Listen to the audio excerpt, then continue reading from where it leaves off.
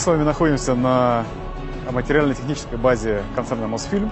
Это то самое место, откуда режиссеры берут настоящие танки для съемки фильмов про Великую Отечественную войну. Сегодня мы снимаем здесь советский тяжелый танк ИС-2.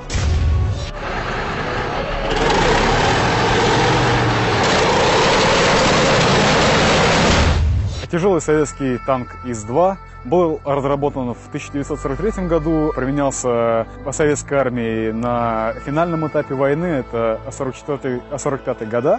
Использовался для штурмовки городов, для освобождения городов Европы преимущественно танк был призван противостоять самым совершенным танкам вермахта. Это «Тигр», «Королевский тигр» и «Пантера», которые до какого-то момента считались во многом неуязвимыми. Танк С-2 успешно справлялся с этой боевой задачей. Советские инженеры доказали, что мы можем делать танки не только не хуже немецких, но и лучше. То есть ИС-2 — это настоящее оружие победы.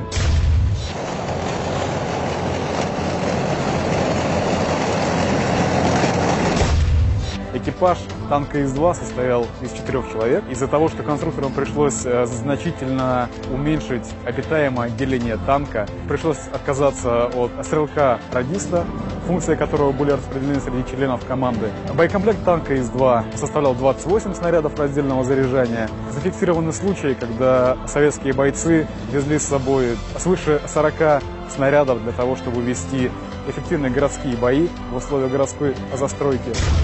Танк оказывал огневую поддержку штурмовым группам, состоящим из стрелков-автоматчиков, э, огнеметчика или снайпера в условиях городского боя. Танком в войсках были очень довольны. Это была надежная, очень ремонтоспособная машина. Танк, который был выведен из строя, подбит, иногда возвращался в строй на следующий день, его было очень, очень просто отремонтировать.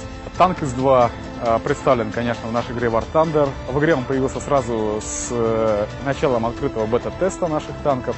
Каждый из вас может попробовать и оценить эту суровую, грозную машину в игре. Так что играйте в War Thunder, пробуйте настоящие танки, ну а мы попробуем и дальше снимать для вас сюжеты про настоящие боевые машины, рассказывать их историю и, конечно, показывать, какими они являются в жизни. Всего доброго!